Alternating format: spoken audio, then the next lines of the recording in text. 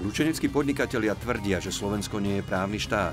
Doplatili na neserióznosť podnikavca zo Záhoria, ktorý ich pripravil o nemalé prostriedky. A napriek tomu nemali a ani nemajú orgány činné v trestnom konaní na svojej strane. Legendárny generál Heliodor Píka bol napriek svojim zásluhám v boji proti nacizmu komunistickým režimom popravený. Ako si na tento režim a na boj o očistenie mena svojho otca spomína jeho syn, ktorý je posledným žijúcim príslušníkom britského vojenského letectva na Slovensku. Reportéry. V pondelok v noci na jednotke.